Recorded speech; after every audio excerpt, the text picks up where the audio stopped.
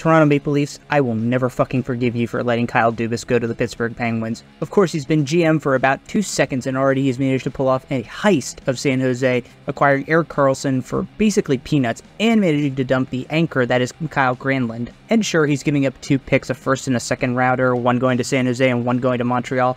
But the first round pick's top 10 protected, like that's even a concern. There's no way Pittsburgh's finishing outside the playoffs this year. But the Penguins essentially got the reigning Norris Trophy winner for peanuts, and are now probably at the top of the class in a loaded Metro division. Also, San Jose, how did you manage to fuck up trading your most valuable asset on your roster like this? You got a single first round pick and is top 10 protected? You could have absolutely held on to Karlsson until the deadline got in a much better offer. Yes, health is a concern, but considering that Sidney Crosby has a horseshoe up his ass, I'm betting Karlsson will play all 82 games this season.